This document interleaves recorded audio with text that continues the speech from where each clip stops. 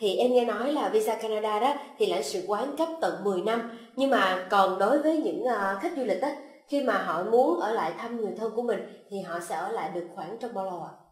À, thông tin uh, visa Canada cấp 10 năm thì uh, phải hiểu chính xác rằng uh, cấp là cấp hết hạn hộ chiếu.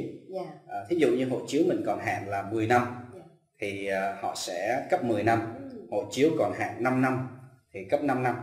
Uh, đó là chính xác thông tin là cấp được cấp hết hạn hộ chiếu phụ thuộc vào hồ sơ. Họ sẽ xét hồ sơ.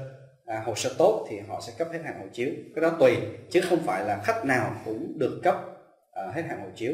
Và quý vị khách hàng nào mà họ có nhu cầu là đi du lịch xong với đoàn và kết thúc đoàn thì họ ở lại thăm người thân à, thêm thì cái đó là được phép.